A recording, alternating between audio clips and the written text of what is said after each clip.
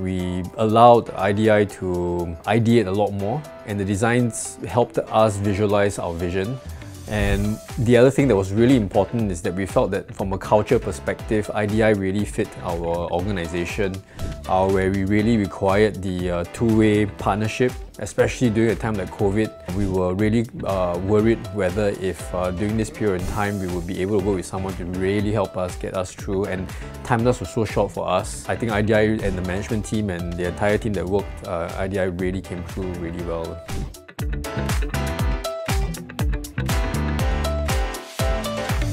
ID Integrated's design approach for the prestigious MullenLowe Singapore office is to create a sleek, stylish, modern and agile built environment by reflecting the brand culture and identity through the spatial experience journey.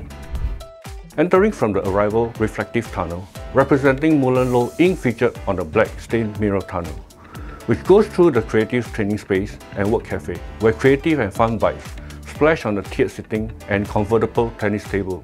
Connecting to the boardroom features operable wall to facilitate big venue collaborations. Situated next to the harbour of Sentosa, the staffs of MullenLowe can chill and focus on exciting media at the Ocean Lounge before starting with new journeys.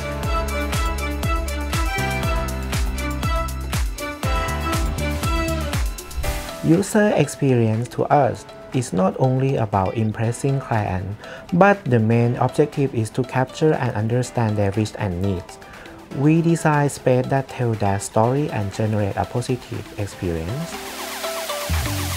As most of the existing furniture from our client is in good conditions, during the design stage, we design the space with furniture repurposing in mind to work toward being sustainable.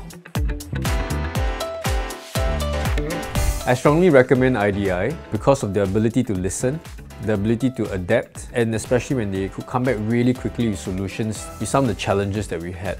The other thing is that they totally understood our culture.